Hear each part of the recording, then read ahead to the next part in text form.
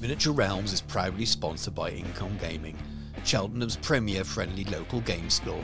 Check the link in the description. On launch day for Warhammer The Old World Games Workshop, put on a launch event at Warhammer World in Nottingham in the UK, which is the home of Warhammer and the home of Games Workshop itself.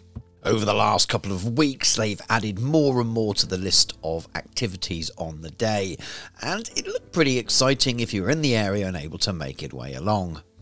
By a pure stroke of luck, myself, Dan, who's the co host on the Hobby Hour podcast with me, and Jordan of Jordan Sorcery YouTube channel were in Nottingham the day before to play Mordheim on the board you may well have seen on the channel. We had lots of fun playing games of Mordheim, and I'll come back to this in more detail in a future video. But we were staying in Nottingham that night anyway, which left us very nicely placed for returning the next day for the open day. So that Friday evening, as we ate our curry and we chatted and had a beer or two, we discussed our plans for when to turn up the next day. We had already chatted to some of the event staff on the Friday about the event and how they were getting on with their planning, and they, they seemed to think it might be busy, but it was really hard to tell. They'd also put out a note on their Facebook page advising people that they expect to be busy and that you may have to queue and they may have to limit the numbers in the building if it was really, really busy. So they're obviously expecting that it could get a little bit beyond what they'd normally see on a, on a Saturday launch day or something. So we were a little bit nervous about standing outside in the cold for hours and hours and hours on end. So we decided to get there early. We were up and early and breakfasted and, and arrived at Warhammer World for around 8.30 that morning so that gave us an hour and a half to queue.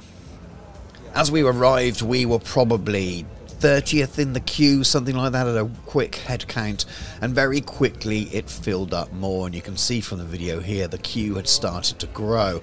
And uh, before we went in, the queue had gone all the way round and out of the car park completely, and it stayed like that for hours.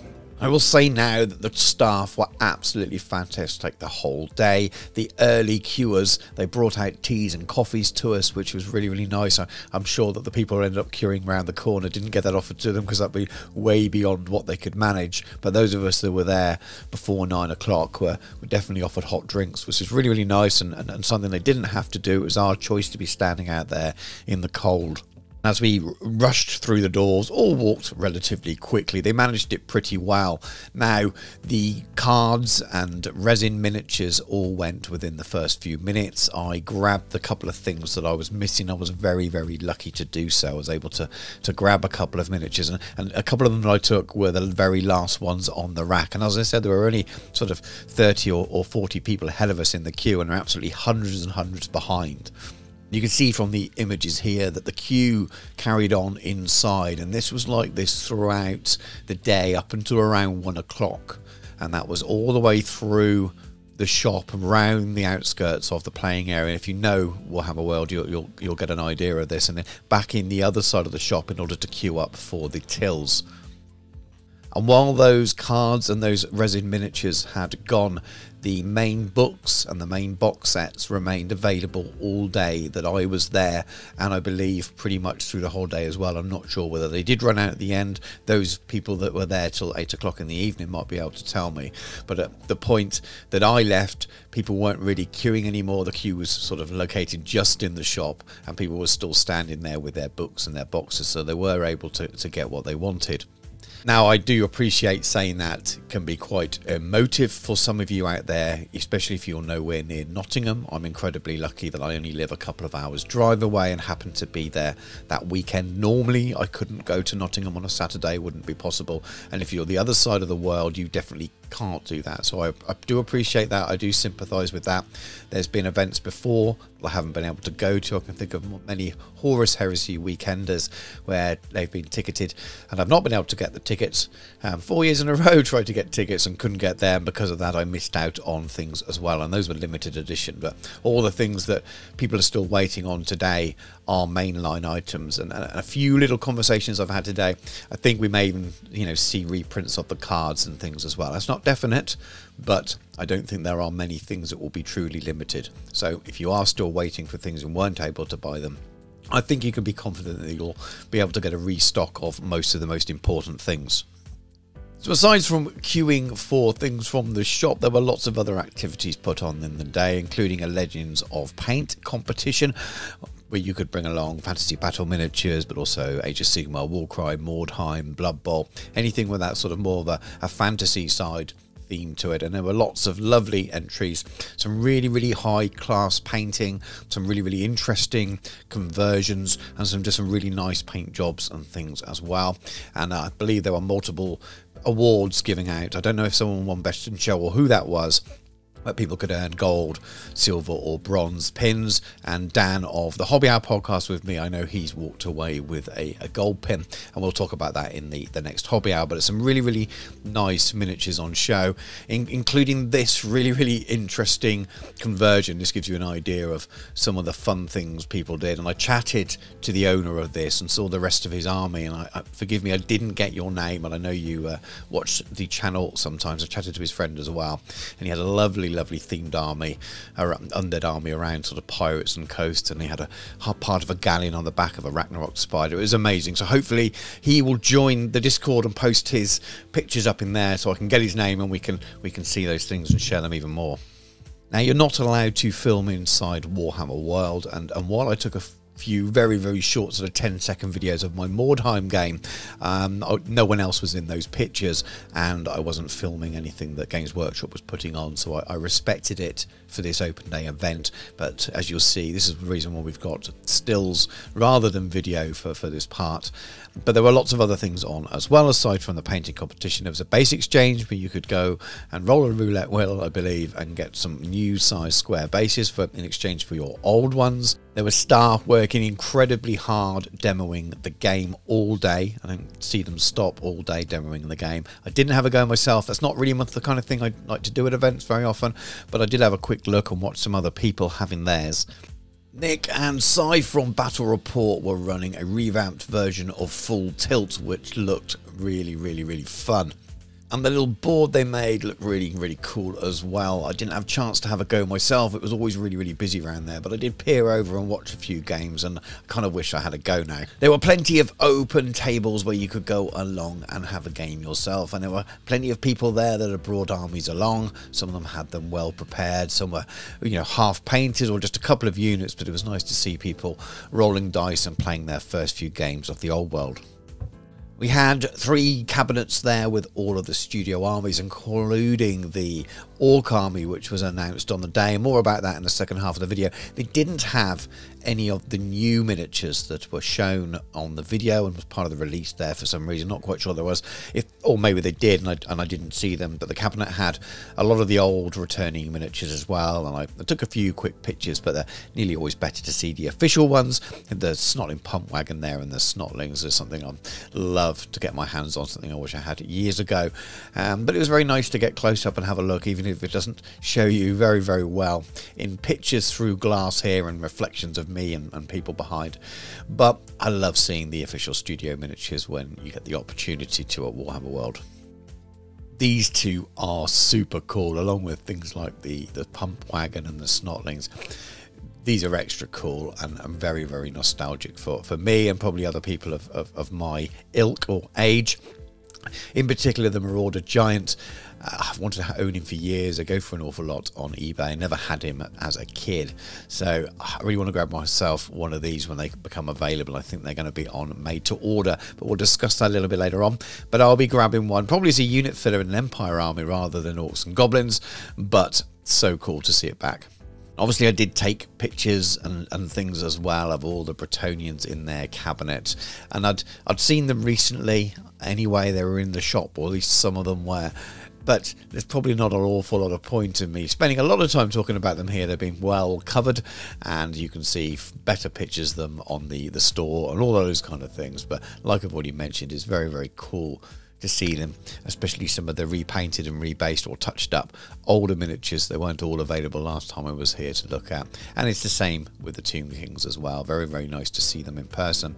My grainy potato cam pictures through glass don't really do them justice. But if you do get a chance to head over to, to Warhammer World at any point, um, hopefully these guys will be behind the cabinets in the museum in the future. But I'm sure they will be when they're not out on campaign and being used for, to, for filming or for, for photography photography, and it's just so cool to see them in the flesh. The guys from Mini Wargaming were there as well. There's Luca doing some filming in the back, and the mountain was behind me talking to someone. I watched the game for a little bit. It looks like a massive game with loads going on. It Looks like loads of fun. Again, it's not something I took part in, um, but it's very, very nice to see them there. Nice to see Games Workshop doing a, a partnership with with a, a, third party content creator and you can see mini wargaming's logos on that banner there as well and that's that's a that's a sign of things changing i think and maybe not the star of the show for everyone, but for me, this was absolutely fantastic. And I'm pretty sure this is going to find its way into the, the exhibition. I hope they don't replace Volganov with it. I hope that this is an additional thing. But there is so many cool things there. So I, I can't imagine they're going to put it away in a cupboard. Uh, I think they're closing the Warhammer World exhibition room number one um, next week or later this month for, for a few days. So I'm going to assume it's to have a bit of a reorganise and maybe squeeze this in there. But take a trip to, to Warhammer World. This is going to be on display somewhere and, and go and have a look if you can because um, it is really really cool to see and they're they're so good at doing these things there's so many cool things to see in the museum regardless of, of what game systems you play all of the displays are, are really really really cool and there's just so many cool little tidbits on, on this one the the way all of the uh, the, the, the, cavalry, the Knights of the Realm are charging. Looks like a real cavalry charge. They're really, really bunched up, so you get a real feel of, of movement there. And then round the back of the castle, you've got tomb scorpions burrowing up um, underneath the castle, and they've got arrows stuck in them when they've been shot and things. It's just so many cool little bits like that. I'd love to spend hours when there wasn't a barrier around it and, and walk around and see how many little cool things I could spot because they're just brilliant. It must have taken an incredible amount of time. And before anyone says, is that castle going to be available to buy? Um, I was informed that it's all scratch built out of out of blue foam, so it must have taken them incredibly long time to do, but absolutely fantastic. Loved it. Spent quite a lot of time looking at it, and went back quite a few more times to to have another look and take a few meal pictures as well. So there were some things I didn't take part in or, or even go and have a look at. In a, in a, separate room, you could go and take part in a hobby challenge, which is basically like a scrap demon if you've been to a Warhammer Fest before, where you, you have access to loads of bits and you can and build and paint your own thing, it be a diorama or a model or a kit bash or something like that always always good fun and, and but it's just not something I, I, wanted to do on the day. I wanted to spend the day meeting people and talking to people I hadn't, hadn't seen for a while. And I've had a lot of nice conversations with with people yesterday and that's what I went for. Some people go for different things. You could uh, you could paint a Knight of the Realm on foot, and that was something I was quite tempted to do because those are the miniatures I'm most excited about. But again, I didn't really want to paint it there, and I thought it'd be a little bit cheeky to go and ask just for a miniature to take away. That wasn't what it was there for. The idea is you'd, you'd sit and, and, paint it there, just like when you go into a Games Workshop store and you can paint a Space Marine or a Stormcast. This was the old world version of that, and I didn't want to be too cheeky, and I'll, I'll wait until I can uh, purchase one. But you never know, you might see a few of those appearing on the interwebs, I imagine, as people take them home. Overall, though, I think a really, really fantastic day. The staff were brilliant, working really hard all day. There was plenty of stuff to do and see.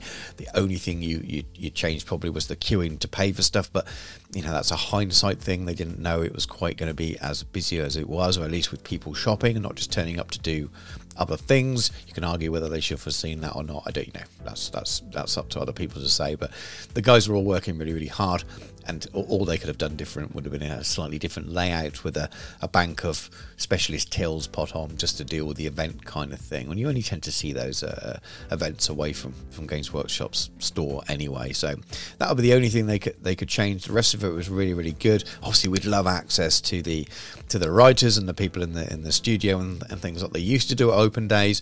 We know that's not a thing anymore. Um, you know, so Games Workshop corporate, if you're listening, please you know look at changing that policy because that's something that people look forward to. But aside from that, an awesome day. Loved hanging out, chatting with people, and love seeing how popular. Um, the game looks like it, it, it can be. There's so many people there. There's so much interest, and I think that might be a, a real good sort of wake up to anyone that at Games Workshop who was concerned that this game couldn't be a success. I know the team behind it are all really, really pumped for it, um, but the you know if there's a management side that were concerned, I think enough people are interested. Um, get behind the game, and I'm pretty sure that all the restocks will happen soon. Miniature Realms is proudly sponsored by Baron of Dice, premium wargaming dice.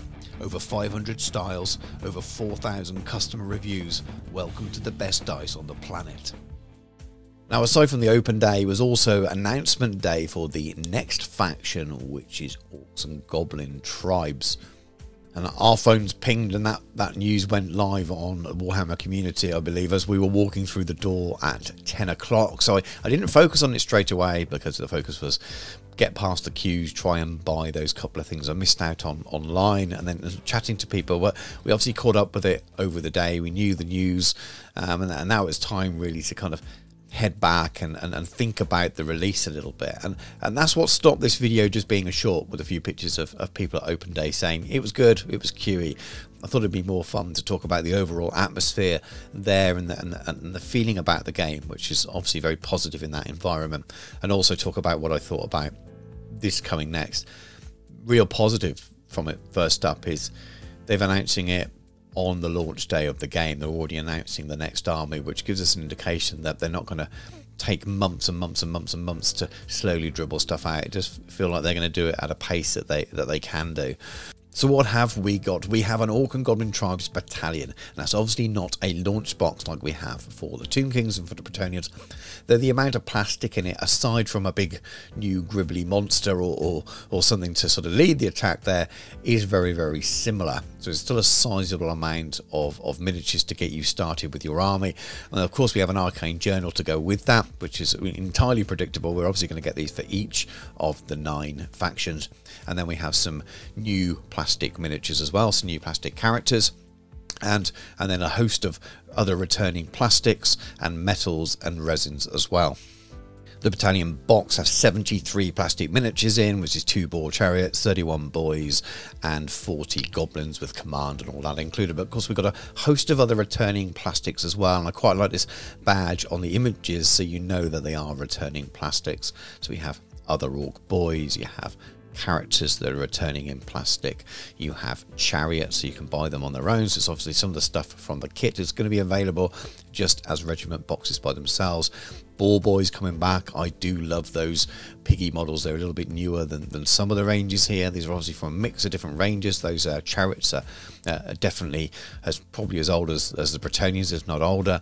Then you have your Black Orcs, um, and these have been used in AOS, I believe. They've just been updated. So there's a real mix of sort of eras and things going on here, some of the characters and things as well. So some very, very cool things um, and it's in fact relatively full range to start with. As I still notice there's no night goblins at this stage. We have some miniatures returning in resin as well, so these may well have been in Finecast before that have been retooled, or maybe they would have been metal before and retooled. I'm not sure. I wasn't a big Orc and Goblin player apart from when I was very young, um, but these miniatures look lovely, and if it's done in Forge World resin now, they will be handled very well. And again, they got those badges on there that clearly state they're returning resin.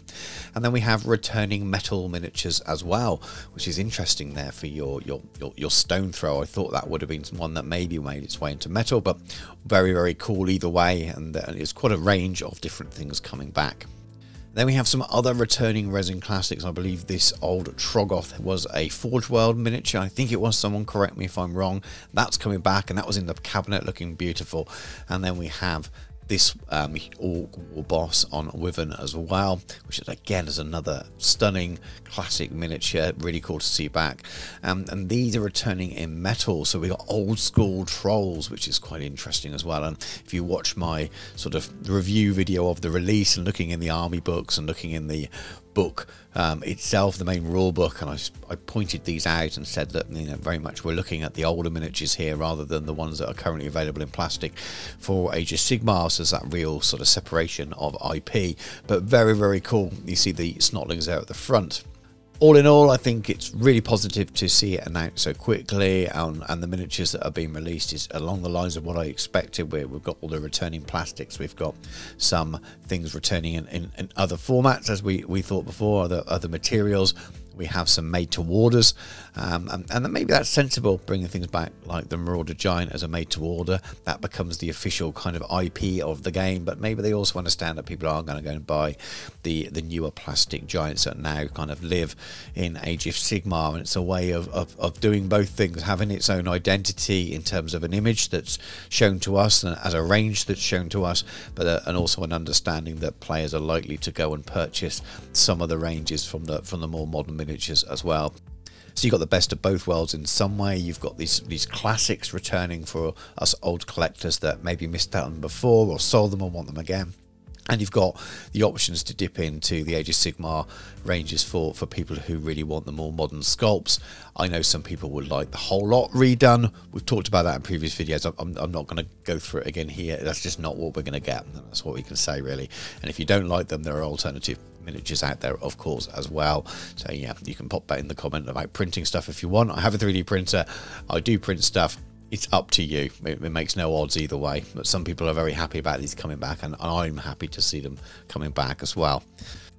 It's also worth going over and looking at the full launch article on Warhammer Community because it lists a few other things that maybe I've not mentioned. And at the bottom of that list is the classic ogres coming back, which are really cool. And in a smaller print, it does also say there are a few other plastics returning as well, such as a, a goblin mob and the night goblin mob and, and, goblin wolf riders and things as well. So there's an awful lot coming. Orcs and goblins had a huge range, and they probably didn't want to show all of it at once. If you do see something missing there, um, then don't panic, I would say, because I think it's all coming.